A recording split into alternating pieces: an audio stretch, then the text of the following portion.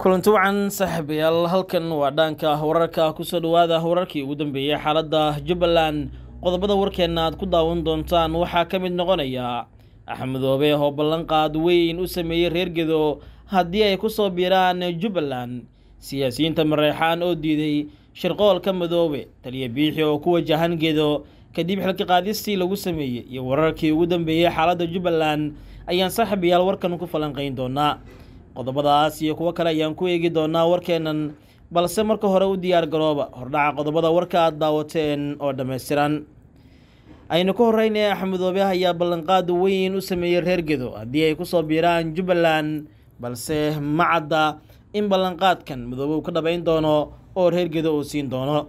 Hogaamiyaha maamulka jubbaland ee krigitaliska ah ayaa markan qaadaya dhabo kale oo uu rabo inuu ku xaliyo shaqaaqada ka soo cusbanaatay gobolkaasi iyo diidmada ka soo yeeraysa dadka u dhashay gedo oo ay ku diidan yihiin maamulka madoobe uu hogaamiyo iyo qaabkay wax u wadaan iyadoo tani mar kale ay muujinayso in axmedoobe uu gargaraacayo irid kale oo qaldan oo uga sii dari karto xiisadda iyo xasaradda ka taagan gobolkaasi.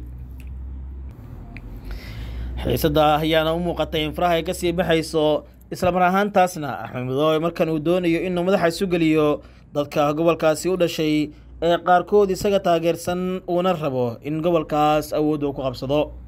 Haddaba aan eegno muxuu yahay ballanqaadka axmedoobe u sameeyey reer gedo haddii ay dib ugu soo laabtaan maamulkiisa. Madaxweynaha jubbaland axmedoobe ayaa mar kale ka hadlay xiisada ka taagan gobolkaasi gedo oo maamulkiisu uusan ka talin muddo ka badan saddex sano. Axmedoobe ayaa hadalkan ka sheegay shir uu ka furay magaalada kismaayo oo heshiisyo cusub looga gaaray isku dabaridka xasilinta qaranka. Qorshahan waxaa hogaaminaysa wasaaradda arrimaha gudaha ee dowladda federaalk soomaaliya. Madaxweynaha jubbaland ayaa codsaday in cid kasta ay ka caawiso sidii gobolkaasi gedo loogu soo celin lahaa gacanta jubbaland islamarkaana meesha looga saari lahaa danaha shakhsiga ah ee hadda lagu maamulo gobolkaasi sida wadalkiisa u dhigay axmedoobe waxaan gedo u diri doonaa wafdi ay ku jirto dowladda federaalk si loo xaliyo tabashada dadka reer gedo arrinta gobolka gedo waxay u baahan tahay mas'uuliyad dowladnimo ayuu yidhi. Madaxweynaha jubbaland wuxuu sheegay in wax danna aysan bulshada gobolkaasi ugu jirin in ay sii maamulaan shakhsiyaad aan lahayn mas'uuliyad dowladnimo kuwaasoo sida uu sheegay danahooda gaarka ah ku gaaraya in ay xoog iyo xeeladba ku sii haystaan bulshada gobolkaasi. Axmedoobe ayaa ballan qaaday in wax cad oo la wada arki doono uu ka qaban doono gobolkaasi gedo marka uu ku guuleysto in mas'uuliyadda gobolkaasi ay dib ugu soo laabato maamulka jubbaland. Sidoo kale midoobe waxa uu ka ballan qaaday reer gedo in maamul dambe aan loo magacaabi doonin gobolkaasi balse bulshada loo dhisi doono nidaam dowli ah iyo golo deegaan si ay soo doortaan iyaga oo ay u doortaan dadkii maamuli lahaa maalmo ka hor waxaa garbahaarey laga soo celiyey diyaaradii maamul cusub oo maxamedoobe u magacaabay gobolkaasi gedo waxaana halkaasi ka taliya siyaasiyiin aan ka amar qaadan jubbaland iyo dowladda dhexe toona saddex sano ka hor xukuumaddii farmaajo ayaa gedo ka faramroojisay maamulka jubbaland ee midoobe hogaamiyo waxaana iyadoo hal sano uu farmaajo ka sii maqan yahay xukunka ee xal loo weysan yahay khilaafka maamulka ka jira gobolkaasi. Mar kale sii cakarintay xaaladda markii midoobihii xashan maxamuud ay isku raaceen in awood military dib loogu soo celiyo xaaladda gobolkaasi gedo balse hogaamiyaha jubbaland axmedoobe ayaa markan u muuqday inuu ku daalay xiisadda muranka ah ee ka taagan gobolkaasi iyo dadka reer gedo oo isaga si cad taasi oo keentay in aysan suuragal ahayn in reer gedo iyo midoobe ay wada shaqeeyaan. Sidoo kale xogta ayaa waxa ay tilmaamaysaa in hadda axmedoobe iyo sidoo kale dowladda dhexe ay doonayaan in wadahadal beenbeen ah lala galo reer gedo oo lagu qanciyo in awood qaybsiga wax laga siin doono iyaguna ay qaataan waxa ay rabaan ee ah in jubbaland midaysan laga wada shaqeeyo. Axmedoobe ayaa hadda u muuqda ballanqaadkiisa inuusan mid dhaqangelaya marka la fiiriyo ballanqaadyo hore oo reer gedo u ballanqaaday oo wax dhaqangala aysan jirin taasoo ah calaamadda keliya ee muujinaysa waxa madoobe uu rabo iyo reer gedo waxa ay rabaan oo kaafiye kala dheeri ah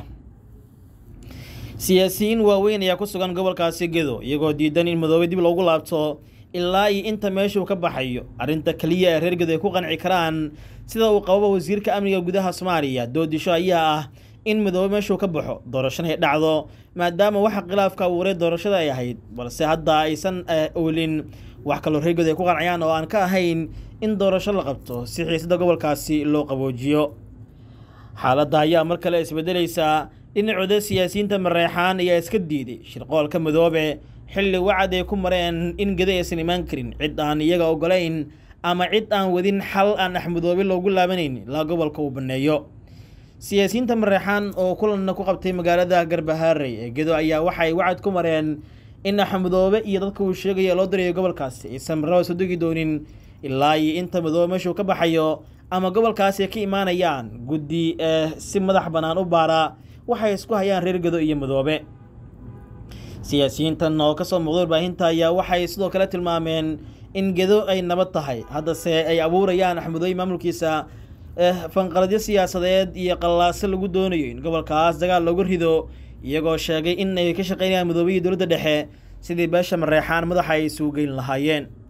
Xaaladda ayaa mar kale isbedelaysaa waxayna u muuqataa in siyaasiyiinta reer gedo ay toos u diideen damaaciga madoobe iyo waxa uu rabo ee ku aadan shirqool siyaasadeed oo uu rabo inuu dhigo reer gedo isagoo markaasi ku andacoonaya in markan la siiyo jaaniskii ugu dambeeyey oo uu rabo in gobolkaas uu ku xasiliyo doorasho golo degaana uga qabto taasoo iyaguna reer gedo ay iska diidan yihiin maadaama gedo uu yahay gobolka keliya ay dhammaan degmooyinkiisa ay wada xor yihiin. Marka loo eego jubbalanta kale oo inta badan boqolkiiba lixdan kooxda shabaab ay gacanta ku hayso.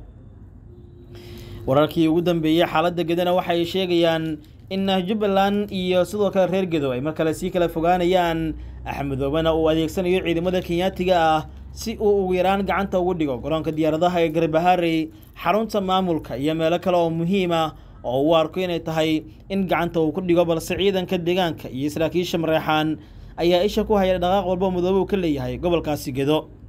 Ugu dambeyntiina taliyihii ciidanka dhulka ee xoogga dalka soomaaliyeed sareeyagaas waa sareeyo guute maxamed taliil biixi ayaa ku wajahan magaalada garbaharey ee gedo. Kadib xilka qaadisiisii waxaana wararkan helayno ay sheegayaan in biixi gobolkaas uu aadayo si dadkiisa iyo deegaankiisa uga difaaco waxa uu ugu yeeray qulqulatooyinka siyaasadeed ee lagu afgembinayo reer gedo. Biixi haddii uu tago gobolkaasi gedo waxay mar kale ka dhigan tahay in reer gedo ay ka wada midaysan yihiin xiisada siyaasadeed ka taagan gobolkaasi iyo waxa uu rabo axmedoobe oo kaafii kaldheeri ah si weyn isha loogu hayo taasoo hadda u muuqata in faraha ay ka sii bixi doonto. Xaalka ayaa hadda isbedelaya waxaana soo baxaya warar kale oo tilmaamaya in siciid ninka la yidhaahdo taliil biixi iyo axmedoobe ay sii kala fogaadeen. Xilli kastana ay u muuqato in biixi abaabul ciidan tababar iyo hubeynba uu ka bilaabi karo gobolkaasi gedo maadaama uu soo noqday taliyaha ciidanka lugta ee xoogga dalka soomaaliyeed. Saaxiibayaal daawadayaal waa naga intaa wararkii ugu dambeeyey xaaladda jubbaland tan iyo kulan dambe nabadgelyo